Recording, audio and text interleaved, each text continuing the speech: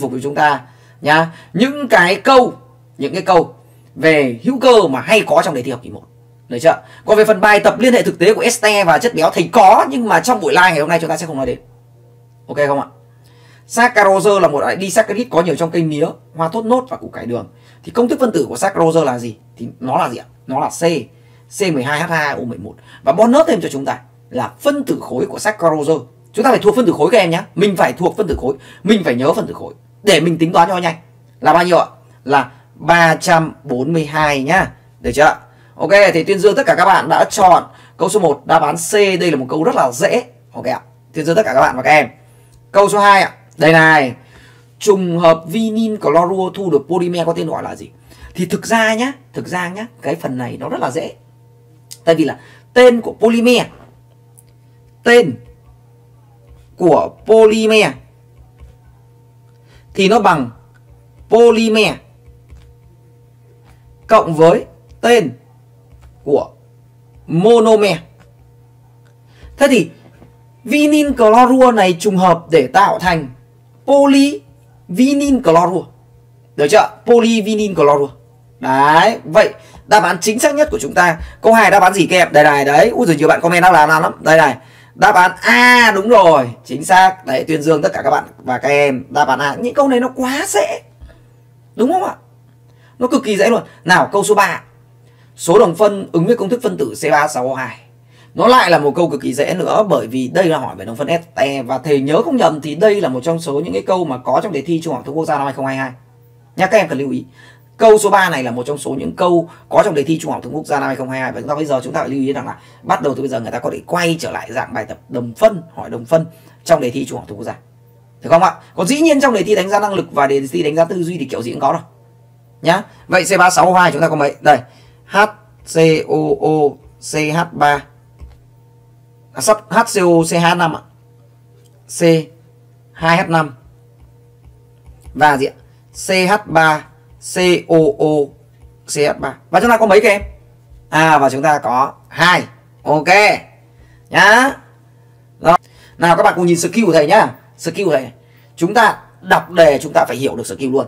Thứ nhất, đây là một bài tập gồm hai amin. Đấy chưa? Tác dụng với axit thu được muối. Thế thì thầy cứ viết phương trình này thôi. Thầy viết phương trình để cho chúng ta nắm được. Đây, đầu tiên là amin. Hai amin đơn chức thì ký hiệu của nó là RNH2. Tác dụng với HCl đề bài cho vừa đủ thì mình thu được muối. Vậy thì mình sẽ có bảo toàn khối lượng. Mình sẽ có là khối lượng của amin cộng với lại khối lượng của HCl thì bằng khối lượng của muối. Vậy ta có này, khối lượng của amin là bằng 9,85 để bài cho này. Khối lượng của HCl chưa biết thì có phải khối lượng của HCl là bằng 36,5 nhân với số mol HCl không ạ? Bằng khối lượng muối là 18,975. Vậy hoàn toàn tới đây chúng ta sẽ tìm được số mol của HCl. Sẽ bằng 18 18,975 trừ đi 9,85 bằng chia 36,5 bằng 0,25 mol. Và với giá trị là 0,25 mol thì chúng ta sẽ tìm được cái nồng độ cái cái thể tích là bằng 0,25 chia cho 1m thì bằng 0,25 lít. Và 0,25 lít thì tương ứng với lại là 250 ml các em ạ. Đáp án đúng chúng ta là đáp án D. 250 ml các bạn nhớ lưu lại nhá. Nhớ chưa? Thế thì ở đây ngoài ra, ngoài cách làm chậm này thì còn một cách giải nhanh. Đây, cách giải nhanh skill. Thì áp dụng công thức. Mình sẽ có là số mol HCl phản ứng thì bằng số mol NH2 và bằng m muối trừ đi m amin chia 36,5. Và nếu bạn nào nắm được cái này thì bấm máy tính vèo cái là xong nữa. 18,975 trừ đi 9,85 chia 36,5 bằng 0,25 mol. Được chưa? Cũng là như vậy nha. Đáp án đúng chúng ta là đáp án D. Đấy, các bạn thấy dễ không? Nào, câu số 5 nào các em. Câu số 5 Các bạn cũng comment đáp án xem câu số 5 đáp án gì. Câu số 5 Cho m gam glucose. Cho m gam glucose. Tác dụng hết với lượng dư AGNO3 trong đợt 3 thì thu được bạc thế thì, mình quay lại trong đầu mình phải nhớ đi.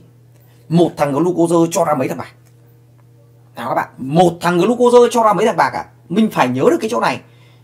Đúng không ạ? Thực ra thì bây giờ chúng ta tư duy trong đầu nhá thì một anh glucose chúng ta có một nhóm CRO đúng không? Và do một nhóm CRO một con chó thì cắn hai thằng đeo dây chuyền bạc. Được chưa? Một con chó cắn hai thằng dây đeo dây chuyền bạc. Tại sao thầy nhớ điều này? Thì vì ngày xưa thầy hay bị chó cắn. Đấy chưa? Và thầy cũng đeo dây chuyền bạc. Thế thì vậy ở đây mình sẽ có là một glu thì cho hai thằng bạc. Vậy số mol bạc là 3,24 3,24 mà chia cho 180 108 á. Bằng 0,03 vậy hoàn toàn mình tìm được số mol glu 0,03 nhân 1 chia 2 bằng 0,015 vậy hoàn toàn mình tìm được giá trị của M 0,015 nhân 180 180 là phân tử khối của glucose bằng 2,7 2,7 vậy đáp án đúng của chúng ta nó là đáp án D kèm 2,7 về đáp án chính xác nhất của chúng ta nó là đáp án D. Ok. Dễ chưa các em? Nào các bạn cùng làm thầy câu số 6 này Câu số 6 đáp án gì ạ? Câu số 6 Rồi, được với NaOH trong dung dịch. Để phản ứng được với NaOH thì nó phải có tính axit. Anilin. Đây anilin đây. C6H5 NH2 thằng này không có tính axit, thằng này có tính bao giờ? Loại. Phenyl amoni clorua. C6H5 NH3 Cl anh này tác dụng được với NaOH dành cho các bạn không biết, thì viết phương trình cho để tạo thành C6H5 NH2 cộng với NaCl cộng với H2O. Được chưa? Vậy một cháu. Alanin thì ai biết rồi, có nhóm COH. Vậy là phản ứng. Hai cháu. Gliala ai biết rồi, có NHCO. Ba cháu. Được chưa? Vậy số chất phản ứng được với NaOH trong dịch của chúng ta là có ba cháu đáp án đúng của chúng ta nó là đáp án D các em nhé. Đáp án chính xác của chúng ta là đáp án D. Câu số 7 Úi dồi, vừa mới dậy xong. Câu số 7 vừa mới dậy xong ạ. Polymer nào sau đây là polymer thiên nhiên ạ? À? polymer nào sau đây là polymer thiên nhiên ạ? Úi dồi các em cái câu này mà không biết thì thôi về nhà hai năm ba lứa. Hai năm ba lứa thôi. Về lấy chồng lấy vợ hai năm ba lứa polymer thiên nhiên ạ. Là polymer xuất phát từ tự nhiên. Có nguồn gốc từ tự nhiên. Vậy đó là gì? Tinh bột. Tinh bột là thiên nhiên. Câu 8 à. Cellulose thuộc loại polysaccharide. Cellulose thuộc loại polysaccharide là thành phần chính tạo nên màng tế bào thực vật có nhiều trong gỗ bông nõn công thức của cellulose. Ui dồi, chọn luôn. Nhìn này chọn luôn. C6H10O 5 tất cả nợ lần à câu 9 cho m gam fructose tác dụng hết với lượng dư AgNO3 trong NH3 thu được bạc. Fructose tương tự như glucose. Do là trong môi trường kiềm thì fruct chuyển hóa thành glu nên mình sẽ có một thằng C6H12O6 cũng cho mình hai thằng bạc. Số mol bạc bằng 4,32. 4,32 chia 108 bằng 0,04. Thì mình suy được số mol glucose bằng 0,02. 0,02 mà nhân với 180 sorry số mol fruit bằng 3,6 gram. Vậy câu 9 chúng ta đáp án đúng là đáp án B các em nhé. Để chúng ta bấm máy tính nhanh lên. Mình luyện bấm máy tính thật nhanh. Câu số 10 este nào sau đây có phản ứng trắng bạc? Thế thì để nhớ được là anh este nào sau đây có phản ứng trắng bạc thì chúng ta phải nhớ điều kiện. Điều kiện để este trắng được bạc các bạn còn nhớ điều kiện để che este trắng được bạc là gì không ạ? Bạn nào nhớ có thể comment xuống phía dưới. Điều kiện để anh ST có khả năng trắng được bạc đó là gì? Đó là nó phải có đầu, có dạng HCOOR phải, nó phải có dạng vậy trong này chúng ta chỉ có anh nào thỏa mãn thôi. Mình chỉ có một anh duy nhất. À vậy câu 10 chúng ta đáp án đúng là đáp án à các em nhé. Câu 11 số chất tác dụng được với dung dịch NaOH trong dung dịch? 11 nào. Trong các chất sau đây, những chất nào? Thì vừa nãy mình làm rồi anilin là không. Saccharose cũng không. Nhưng glycine là có nhóm COH nên có này. Axit glutamic có nhóm COH nên cũng có này. Vậy mình có mấy? Mình có hai chất tác dụng được với NaOH trong dịch. Đó là đáp án đúng chúng ta, đáp án B. Bỏ.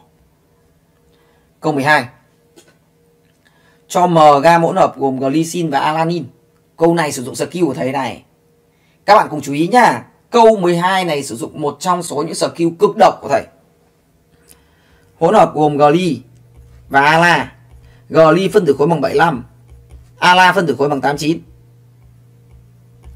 tác dụng vừa đủ với NaOH đủ. 1 nhân với 0,25 bằng 0,25 thu được muối khối lượng muối là 26,35 được không ạ? Mình lưu ý cho thầy nhá trong glycine có một nhóm COH và trong alanin cũng có một nhóm COH được chưa? Các bạn lưu ý được này. Vậy này mình sẽ có này. Mình sẽ có một điều như sau. Áp dụng công thức giải nhanh số mol nhóm COH chính bằng số mol của OH trừ NaOH đấy. Và bằng. Bằng gì? M muối. Trừ đi m amino acid. Chia cho. 22 bởi vì đây nó đi. vậy suy ra mình sẽ có khối lượng của amino acid bằng khối lượng của muối. Trừ đi 22 nhân với số mol của OH trừ và số mol OH trừ chính bằng số mol NaOH 1 nhân 0,25 bằng 0,25 và bằng mình có mở muối của mình để bài cho rồi. 26,35 26,35 trừ đi. M anh này là 22 nhân với 0,25 bằng 20,85 Đấy các em thấy không? Giờ phút này chúng ta phải sử dụng các skill giải nhanh như thế này Thì mới thỏa mãn được cái cái cái việc mà tốc độ giải trong đề thi học kỳ 1 Và hướng tới trong cái đề thi Trung học thông quốc gia sắp tới. Và các em có biết không ạ? Hôm nay trường đại học Bách khoa Hà Nội đã công bố hình thức tuyển sinh của trường đại học Bách khoa Hà Nội là kỳ thi đánh giá tư duy. Thời lượng, thời gian thi, thời lượng làm bài thi được co giảm bình thường ngày trước là 180 phút, bây giờ co xuống chỉ còn 50 phút. Và tổ chức 3 đợt thi. Đấy các bạn cần phải chú ý với cái kỳ thi đánh giá tư duy của đại học Bách khoa. Và như mọi năm thầy vẫn nói đề thi đánh giá tư duy Bách khoa luôn luôn là một đề khó. Thế thì để mà trong 50 phút mình giải quyết được hàng đống các câu hỏi như vậy, thì bí kíp để chúng ta giải nhanh nó rất quan trọng. Nhá. Câu 13 kết quả thí nghiệm của các chất x y z với thuốc thử được ghi ở bảng sau. Chất x y z lần lượt là chỗ này mình phải tinh ý thôi. Đây, mình thấy ngay này. X vào iốt có màu tím, thì x chỉ có thể là tinh bột. Đây, tinh bột tinh bột. Vậy là loại ngay. Mình loại ngay thằng b, mình loại ngay thằng d đi. Đấy, các bạn thấy chưa? Tiếp theo này à, y có khả năng tráng gương. Đấy tạo kết tổ bạc quá thì không thể là anilin được. Đúng chưa? Vậy chọn ngay etin format tại vì nó đây mình thử lại. Đúng là tráng gương chưa? Anilin vào nước brom kết tổ trắng đúng chưa? Vậy đáp án đúng là đáp án C. Ok nhá. C. Câu 14 trùng hợp ethylene thì thu được polymer có tên gọi là trùng hợp ethylene thì thu được polymer, có tên gọi thế này thì mới vừa mới nói xong. Đúng không ạ? Ethylene thì thu được polyethylene. Đáp án đúng là đáp án A. Câu 15 này mới nhiều bạn nhầm này. 15 các bạn chọn đáp án gì ạ? 15 này mới nhiều bạn nhầm. Rất là cảm ơn tất cả các bạn và các em đã theo dõi cái buổi học ngày hôm nay. Đây là một cái đề về phần hữu cơ mà thầy đã chọn lọc từ rất nhiều câu hữu cơ hay để cho tất cả các bạn và các em có được một cái trải nghiệm mình không chỉ để ôn thi học kỳ 1 mình còn hướng tới kỳ thi trung học thông quốc gia. Nên rất là mong muốn tất cả các bạn và các em nhiệt tình comment và chia sẻ lại thầy, chia thầy sẻ lại giúp thầy cái buổi livestream này. Bởi vì cái việc mà các em comment cũng như là cái việc mà các em chia sẻ chính là cái động lực để thầy có thể soạn cho chúng ta nhiều đề hay để chất hơn. Cảm ơn tất cả các bạn và các em rất nhiều. Rồi, quay trở lại. PVC cháy khinh sinh ra nhiều khí độc vậy. PVC là gì? C2H3Cl tất cả nào lần. Vậy khi ngày cháy thì nó sẽ sinh ra? CO2 này H2O này HCl này. Được chưa?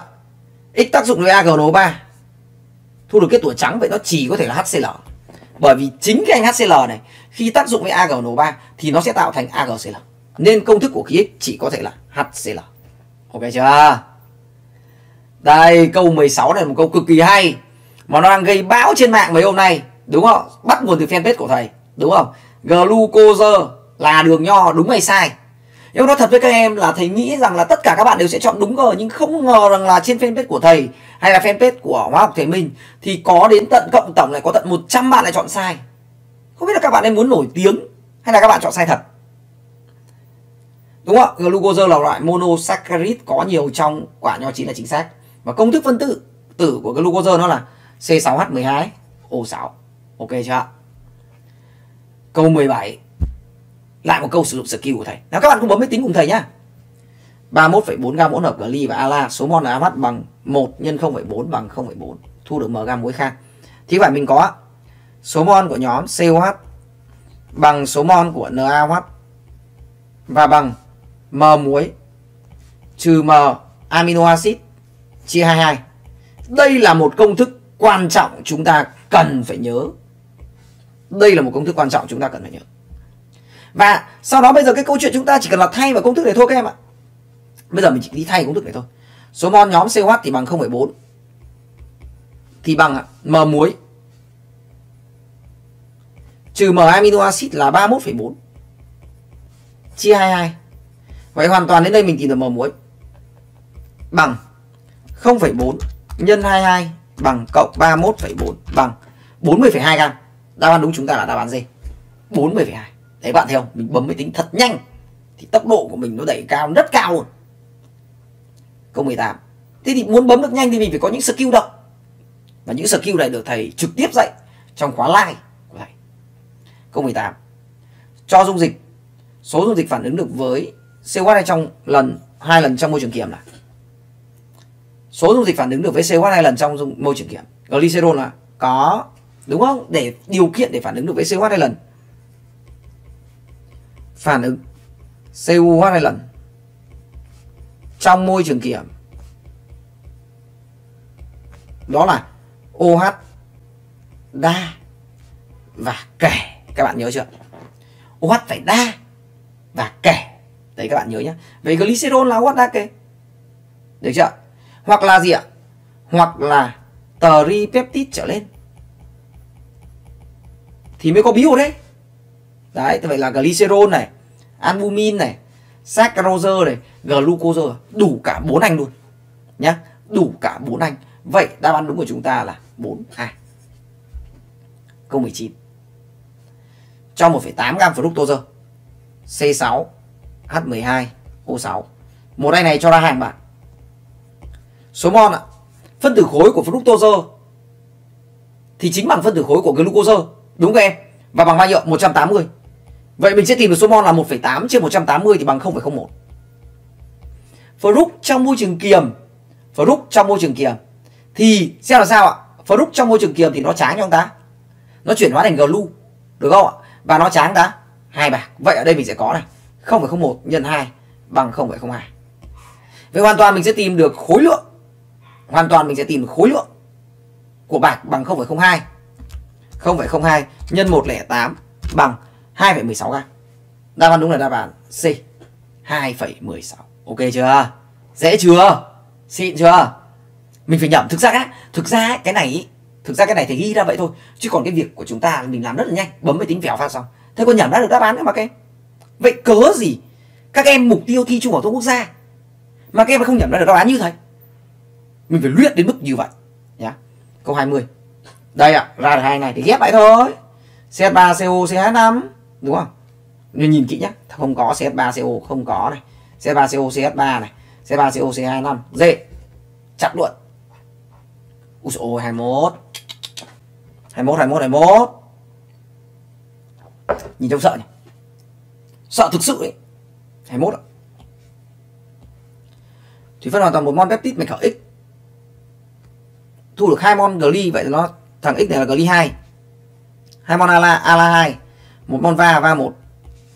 Mặt khác, thủy phân không hoàn toàn X, thu được hỗn hợp các amino acid và peptide, trong đó có gly ala va Vậy nó còn một thằng gly đứng bên ngoài và một thằng ala đứng bên ngoài. Vậy là ba thằng này sẽ ghép với nhau, đúng không? Như một bài toán xác suất, ba thằng này ghép với nhau và không, và sắp xếp khác thứ tự là tạo thành một anh peptide mới, nên nó sẽ là ba dây thừa. Và ba thay thừa được bằng 6 ok chưa? Đáp án đúng chúng ta 21 đáp án dễ hai, khó quá, đánh dấu lại tí giải. Tí thì dạy người ta một skill để giải 22 nhanh lắm.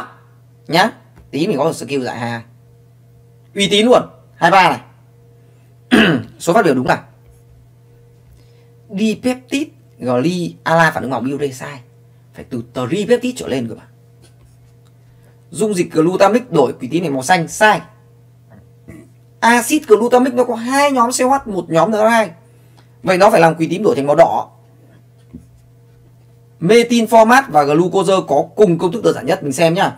Metin format HCOOCH3 công thức phân tử là C2H4O2 công thức đơn giản nhất nó là CH2O còn glucose C6H12O6 công thức đơn giản nhất cũng là CH2O vậy đúng. Methylamine có lực bazơ mạnh hơn ammoniac, chính xác bởi vì nhóm CH3 đẩy E. Xác có phản ứng thủy phân trong môi trường axit chính xác. Metinmet met acrylat là mất vào dịch brom. Metinmet met acrylat đây. Đúng con đôi CC chưa? Nên nó là mất máu dịch brom chính xác. Vậy mình có số phát biểu đúng là C, D, E, G, 4 phát biểu đúng. Nhá, đáp án đúng chúng ta là đáp án B. Xịn chưa? 24 để lại tí có skill giải nhanh 25 nào thực hiện các thí nghiệm sau số thí nghiệm xảy ra phản ứng này bao nhiêu thí nghiệm xảy ra phản ứng được phần này cũng khó, phần này cũng tanh. Phần này đều tẩm hết. Đúng không? Muốn làm được những phần như này, chúng ta phải có một cái phần kiến thức nền tảng cực kỳ chắc chắn.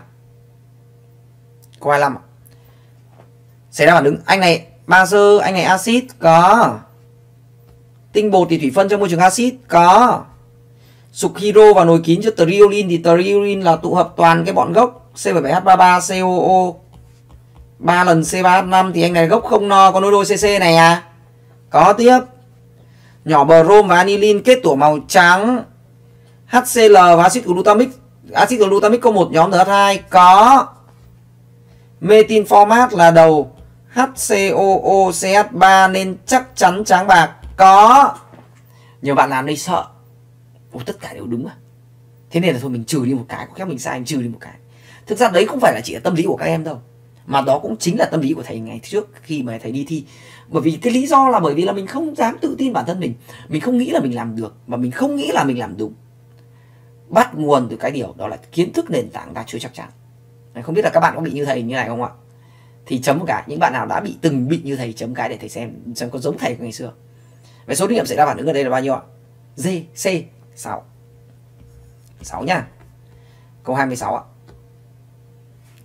Cho các phát biểu sau. Phản ứng thế brom và vòng thơm của anilin dễ hơn benzen, chính xác. Có hai chất hữu cơ đơn chức mạch khởi công thức C24O2, chính xác. Đây. HCOOCH3 và CH3COOH. Được chưa? Trong phân tử các amino acid đều chỉ có một nhóm N2 và một nhóm COH. Đúng. Hợp chất này tác dụng được với NaOH và HCl chính xác. Anh này tác dụng được với HCl này. Anh này thì tác dụng với NaOH này. Thủy phân hoàn toàn tinh bột và sen đều thu được glucose. Chính xác. Mỡ động vật và dầu thực vật đều chứa nhiều chất béo. Chính xác. Vậy mình có A, B, C, D, E, G đúng. Vậy mình tổng cộng có 6 phát biểu đúng. Nhá. 26 chúng ta có 6 phát biểu đúng. Ok, dạ đọc lại một lần nữa này phản ứng thế brom và vòng thơm anilin dễ hơn benzen chính xác hai chất hữu cơ đơn chức chính xác phân tử amino acid đều à c sai đấy, may đọc lại. Trong phân tử amino acid đều chỉ có một nhóm N2 một nhóm COH là sai. Lysine có hai nhóm N2 một COH acid glu có một nhóm N2 hai nhóm COH lysine có một nhóm COH hai nhóm N2 sai. Hợp chất tác dụng, đúng rồi. Thì phân hoàn toàn tinh bột đều thu được chính xác. Mỡ động vật, dầu vật, chứa nhiều chất béo. Đúng, vậy ở đây mình có một, hai, ba, bốn, năm. Năm phát biểu đúng thôi. Tí toàn đúng kèm tí nữa thì toàn câu 26 27 khả năng cao để lại tí, nhỉ? 28 để lại tí. Săn các câu lý thuyết đã. 29 30 ui đều là đều là lý thuyết đây rồi. Đều là lý thuyết rồi. Tránh vỏ dưa không gặp được vỏ dừa rồi. Đúng không ạ? Tránh vỏ dưa bây giờ không gặp được vỏ dừa rồi. Bây giờ phải chiến thôi chứ biết sao? Bây giờ phải chiến thôi. Chấp nhận về cuộc sống thôi các em ạ. Thế bây giờ bắt đầu mình đi giải những cái câu khó khó này. Bây giờ mình bắt đầu mình giải các câu khó khó với các skill với các skill bá đạo mình giải các câu khó khó này như thế nào? Các bạn quan sát nha đầu tiên chúng ta chinh phục câu 22 trước. Đầu tiên thầy cùng các em sẽ chinh phục câu 22 trước. Các bạn để ý nhá. Ờ, bây giờ đây là toàn những câu khó thôi. Nhá chào tất cả các cháu. Bây giờ ở đây là phần làm việc của tất cả những bạn nào mà muốn đạt được tầm 8 9 10 thì ở đây học. Mình sẽ có này. Ờ, uh, axit palmitic C15 H31 COOH axit stearic C17 H35 COH và triglycerid Y đốt cháy hoàn toàn hội này thì thu được CO2 1,56 H2O 1,52 mặt khác tác dụng vừa đủ với NaOH đủ 0,09 thu được glycerol H8O3 hỗn hợp muối gồm natri panmitat C15 H31 CONA natri stearat C17 H35 CONA vậy này, do này, thu được hỗn hợp muối này, nên chắc chắn thằng Y thằng Y là nó phải có dạng là C15 H31 COO x lần và C17 H35 COO 3 trừ x C3H5 có nghĩa nó chỉ được tạo bởi từ hai gốc này. Đúng không? Thì nó mới sinh ra hỗn hợp muối này được. Được chưa? Với x là chạy từ 0 cho đến 3 với x chạy từ 0 đến 3 ok chưa? Thế bây giờ chúng ta nhìn nhá. Thế thì có phải là do này, hỗn hợp, các bạn cùng nhìn này. Do hỗn hợp này là axit no axit no thì khi cháy luôn cho NCO2 bằng n nước. Đúng không ạ? Thế còn anh y này là chất béo. Thì bên trong anh chất béo này này, thì nó có này. Gốc này no, gốc này no. Một pi ở đây, một pi đây tổng cộng là 3 pi CO nên mình luôn luôn có số mol của CO2 trừ số mol của H2O chia cho số mol của Y nhá. Thì chính bằng K trừ 1 K ở đây bằng 3 3 trừ 1 bằng 2 Vậy hoàn toàn mình tìm được số mol của Y. Bằng đây n NCO2 là 1,56 trừ 1,52 chia 2 bằng số mol Y bằng 0,02 Đấy, suy ra anh Y 0,02 mol luôn. Thế thì có phải là một thằng Y thì ăn 3 NaOH mà 0,02 mol Y thì ăn mất 0,06 mol NaOH rồi. Mà NaOH phản ứng vừa đủ là 0,09 vậy 0,03 mol NaOH còn lại chính là số mol của bọn axit no này. Được chưa các em? Dễ hiểu chưa? Đấy, đây là những câu mức độ vận dụng nữa các em ạ. Chúng ta phải giải được những câu này. Nhá. Thế thì đề bài hỏi cái gì? Giá trị của A là A gam mỗi hợp muối.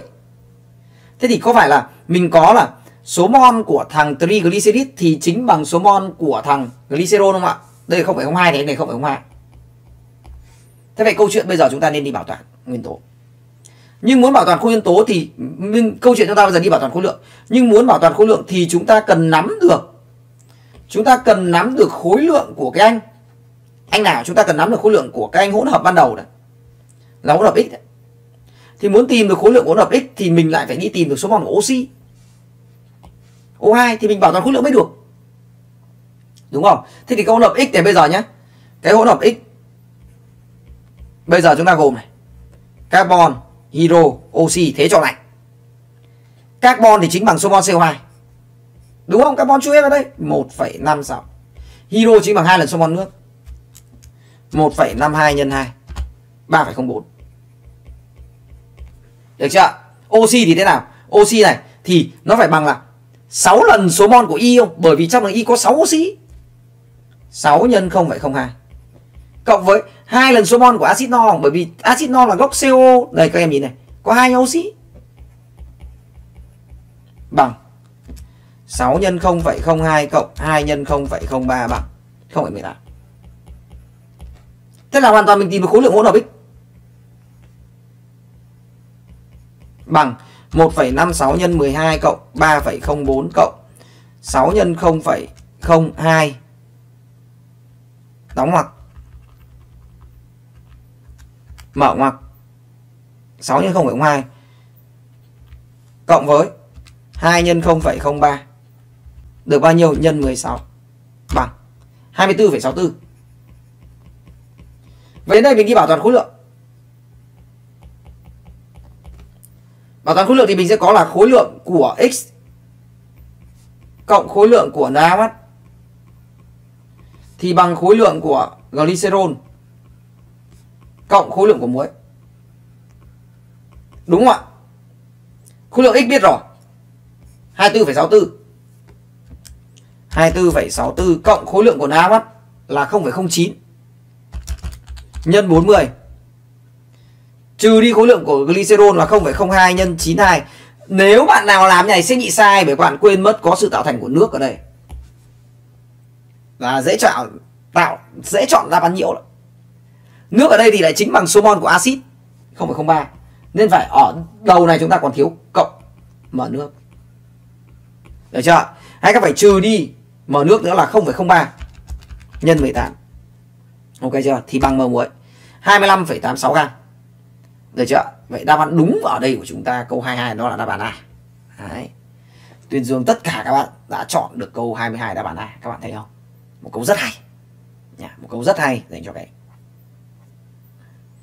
mình sang câu 24 mình sang câu 24 thủy phân hoàn toàn ion triglyceridic trong dịch ra mắt thu được glycerol. Và dung dịch chứa mg muối. Gồm natri stearat C17 H35 CONA natri panitat C15 H31 CONA và C17 HI CONA đốt cháy hoàn toàn agam thế đầu tiên mình nhìn này đã. Thế thì hoàn toàn mình đi bảo toàn nguyên tử nguyên tố carbon là mình tìm được carbon trong y 17 cộng 1 là 18 cộng 15 cộng 1 là 16 cộng 17 cộng 1 là 18 nữa. Cộng 3 bằng 55 HU O6 được chưa? Đốt cháy hoàn toàn thì cần vừa đủ 1,55 mon oxy. 1,55 mon oxy. Thu được H2O CO2 CO2 là 1,1 ok không ạ? Thu được H2O CO2 thế thì mình sẽ có này. Bây giờ đề bài hỏi chúng ta là tìm giá trị của M. À, M gam muối. Đấy tìm cái giá trị M muối. Thế mình có này bảo toàn carbon. Thì số mol CO2 ở trong này chú vào đây. Vậy mình sẽ có là 1,1 chia 55 bằng 0,02 mol. Ok chưa? Bảo toàn oxy mình tìm được số mol nước. 0,2 nhân 6 cộng với 1,55 nhân 2 trừ đi 1,1 nhân 2 bằng số mol nước 1,02.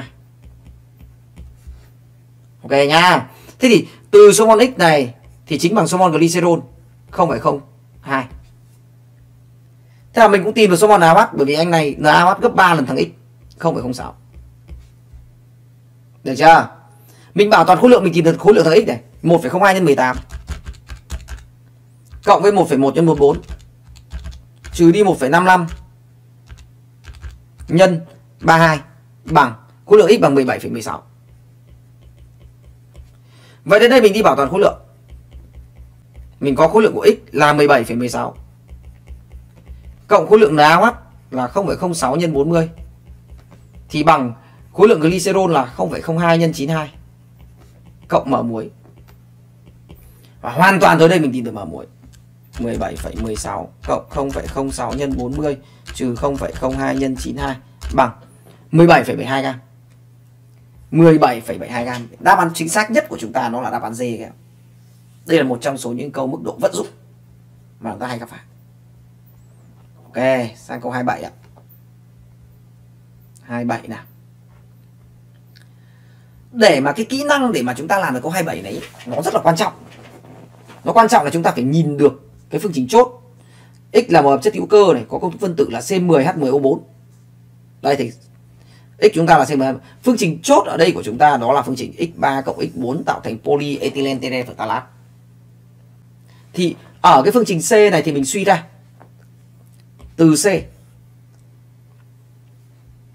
Thì mình suy ra x3 hoặc x4 chính là một trong hai ethylene glycol CH6O2 hoặc axit terephthalic HOOC C6H4 COOH được chưa? Kết hợp với B. B. B đây. X cộng H24 để tạo thành x3 và N2S4 vậy suy ra. X3 là axit. Vậy suy ra x3 chỉ có thể là C8H6O4 được chưa? C8H6O4 ok nhá. X3 là C8H6O4 thế thì cũng từ B đấy thì mình sẽ suy được luôn. X1 bảo toàn ạ. Đấy. X3 là C8H6O4 thì x1 nó sẽ là này. Nhìn nhá. C8 này. H6 trừ đi H2 thì còn là H4 này. O4 giữ nguyên này. S4 S4 hết. Na2 Đây là X1 C8 H4 O4 Na2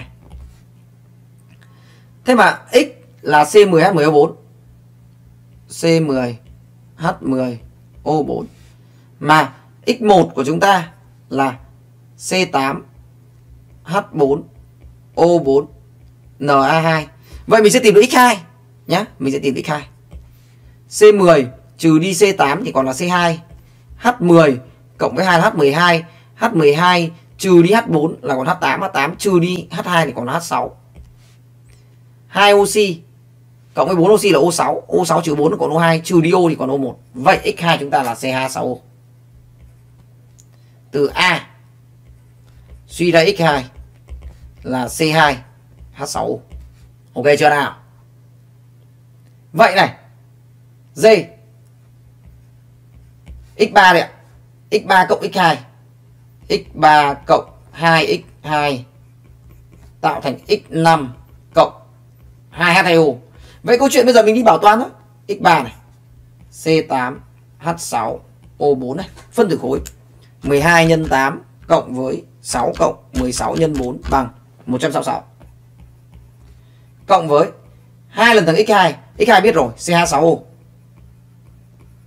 2 x 46 tạo thành x5 cộng 2H2O vậy bằng x5 cộng 2 x 18 và đến đây mình bấm máy tính mình tìm x5 166 cộng 2 x 46 trừ đi 2 x 18 bằng 222 đáp án đúng, đáp án C. Quá đơn giản. Đúng kê câu 28 ạ. Thủy phân hoàn toàn amon triglycerid 28 lạnh quá, mặc cái áo ạ.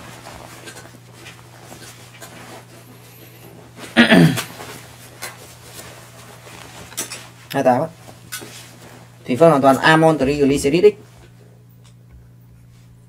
trong NaOH vừa đủ thu được glycerol C3H8O3 và muối.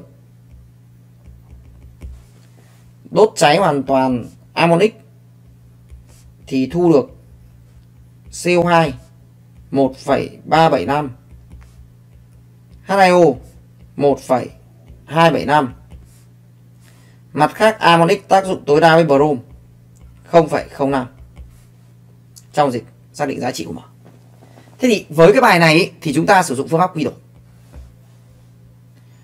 Với bài này đề bài hỏi giá trị của M. M ở đây là M muối. Đấy, đề bài muốn hỏi M muối bằng bao nhiêu. Thế bài này mình sử dụng phương pháp quy đổi. Quy đổi thế nào? Mình quy đổi đơn giản đi. Bài này có brom nên quy đổi thằng x về C10 Uhm, nếu mà là C17 thì không hay C17 thì có còn lại có CS2 nữa Thế quy đổi nó về thằng no đi. No tiêu biểu nhất của thằng no nó là thằng HCO HCOO tất cả 3 lần C3H5 CH2 và H2 thì ở đây số mol H2 thì chính bằng là âm của 0,05 do số mol 2 biểu thị cho số mol brom được không ạ? Thế thì mình đặt số mol HCOC tất cả ba lần C35 là A số mol CH2 là mình là B. Thì mình sẽ có thứ nhất phương trình bảo toàn carbon. 3 này cộng 3 là 6 6A cộng với B. Thì bằng đây CO2 1,375 phương trình 2 bảo toàn hydro. Mình sẽ có này 3 cộng 5 là 8 8A cộng 2B trừ đi 2 nhân với 0,05 thì bằng 2 lần số mol nước 2 nhân 1,275 được không ạ? Với đây mình giải hệ mình sẽ có 6 bằng 1 bằng 1,375 bằng 8 bằng. 2 bằng 2 nhân 1,275 cộng với 0,1 bằng. A bằng 0,025 B bằng 1,225 Vậy có phải cho hội này khi mà tác dụng với lại NaOH vừa đủ thì mình sẽ thu được muối của mình là HCOONA với số mol là 0,025 nhân 3 bằng 0,075 CH2 là 1,225 và H2 vẫn giữ nguyên là 0, âm 0,05 và đây chính là mở muối không ạ? Vậy mình sẽ có mở muối của mình bằng 0,075 nhân 68 cộng 14 nhân 1,225 trừ 0,05 nhân 2 bằng 22,15 đáp án đúng là đáp án gì? Các em thấy skill nhanh chưa? Đã bảo là những skill thấy nó đặc biệt lắm ạ. Cục nhanh. Câu 29 ở chất hữu cơ C8H15 O4N tác dụng bên áo H dư đun nóng thu được sản phẩm hữu cơ gồm muối dinatri glutamat và ancol. Vậy thì dinatri glutamat là glu này là nó sẽ có mấy carbon? Nó sẽ có axit glu mà. Glu của chúng ta là nó có 5 carbon. C5. Đúng chưa? Vậy là thằng C5 này nó có hai đầu. Là đầu R1 và đầu R2. Để ra được carbon ấy, để ra được ancol. Thế thì ancol chúng ta là R1 cộng R2 thì bằng 3 thu được sản phẩm hữu cơ gồm muối dinatri glutamate và ancol, số công thức cấu tạo của x. Vậy thì R1 này có thể bằng 0 này, cộng 3 này 1 cộng 2 này 2 cộng 1 này 3 cộng 0 tại vì là hai cái đầu này nó bất đối xứng nhá, hai đầu nó bất đối xứng bởi nó có một nhóm thứ hai ở giữa nó bất đối xứng không có hai, chỉ có một một một một một 3 có 2 1 nhân 2 bằng 2 1 nhân 1 bằng 1 1 nhân 1 bằng 1 2 nhân 1 bằng 2 Vậy cộng lại mình sẽ có là 2 cộng 1 cộng 1 cộng 2 là bằng 6 Được chưa? Vậy số công thức cấu tạo của x chúng ta có 6 Nó thỏa mãn cái việc mà thu được sản phẩm hữu cơ gồm muối và muối dinatri glutamate và ancol. Vậy đáp án đúng của chúng ta nó là đáp án B, bỏ. Xịn chưa? Đấy, cách giải cực nhanh. Câu 30 cái này những cái bạn mà học trong cái khóa live của thầy học trong lớp off của thầy làm những cái cách giải này các bạn nắm tầm lòng bàn tay. Câu 30 hỗn hợp x gồm 3 st x đơn chức. Tác dụng tối đa với 350ml dung dịch NaOH số mol bằng 1 nhân 0,35 bằng 0,35 thu được hỗn hợp Y gồm hai ancol cùng Z đồng đẳng. Và muối hỗn hợp muối Z. 28,6 đốt cháy hoàn toàn Y. Thì thu được CO2 4,48 chia 2,4 thì bằng 0,2 nước là 6,3 chia 18 bằng 0,35 mình thấy là nước lớn hơn NaCO2 nên chắc chắn hai ancol này hai ancol no. Được chưa? Và số mol ancol bằng 0,35 trừ đi 0,2 thì bằng 0,15 vậy hoàn toàn mình tìm được carbon trung bình. Bằng 0,2 chia 0,15 thì bằng 1, 1,33 1,33 thì chắc chắn 100 trăm của một thằng carbon chỉ có một carbon thôi nên nó chắc chắn là CS3 watt được chưa? Cùng dãy đồng đẳng no. Ok chưa? Vậy là mình tìm được công thức của bọn hai ancol này chắc chắn nó sẽ là CN H2N cộng 2 với n bằng 1,33 hay là 4 phần 3 đấy ồ thế là cũng từ đây mình tìm được khối lượng của ancol luôn. Đúng không? Đây. 14 nhân với 4 chia 3 cộng với 2 cộng với 16 bằng nhân với 0,15 bằng khối lượng ancol bằng 5,5 Ok chưa? Có khối lượng ancol, có khối lượng muối nha. Thế mình thấy này, số mol ancol đáng nhẽ phải bằng số mol NaOH. Bởi vì đây là x đơn chức. Thế nhưng ancol này lại nhỏ hơn rất nhiều so với NaOH. Khiến chúng ta nghĩ rằng thằng x này của chúng ta sẽ gồm este của ancol và este của phenol.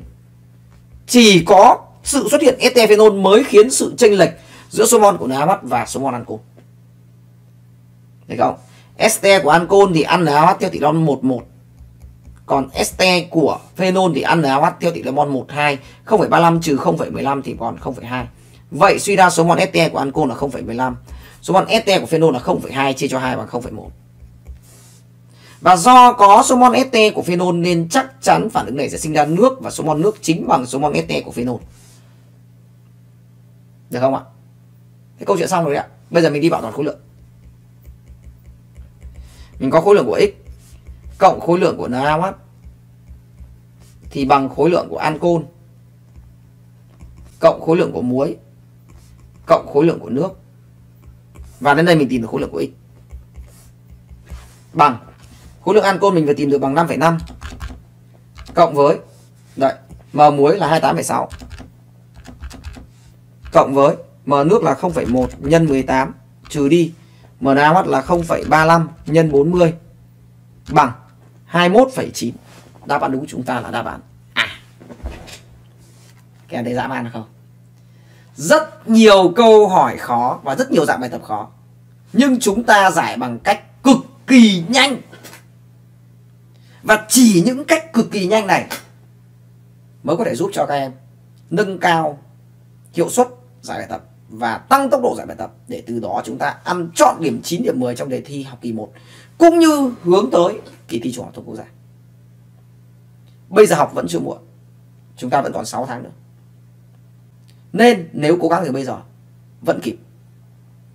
Nếu bạn nào đã thi đề thi học kỳ 1 thì các bạn đã biết được rằng là chúng ta gặp khó khăn như nào trong việc mà giải nhanh rồi. Những bạn nào chưa thi thì mấy nữa thi sẽ biết. Và khi đó các em sẽ nhìn thấy rằng những skill giải nhanh của thầy nó sẽ có tác dụng giúp chúng ta tăng tốc độ như nào. Đây là những skill từ thầy mình Merlin rất là cảm ơn các, tất cả các bạn và các em đã theo dõi cái buổi học ngày hôm nay. Và rất là mong muốn rằng chúng ta có thể gặp lại nhau bên trong các cái khóa học online của thầy. Và sắp tới thì thầy cũng khai giảng khóa Live Pro là bao gồm là khóa tổng ôn và khóa luyện đề. Nó sẽ tăng tốc độ giải bài tập và chuyên luyện các có mức độ vận dụng và vận dụng cao. Rất là mong muốn gặp lại tất cả các em trong cái khóa live pro này. Và học phí đang được ưu đãi cực kỳ thấp. Chỉ còn chắn, chỉ còn 900 nghìn cho cả hai khóa. Các bạn nhớ đăng ký nhá. Và bạn nào mà muốn tìm hiểu về khóa học của thầy thì vui lòng inbox cho fanpage cũng như là inbox cho nick cá nhân của thầy. Buổi live ngày hôm nay xin phép tạm dừng tại đây. Bye bye. Chào thầy với các em. Hẹn gặp lại và chúng ta sẽ gặp lại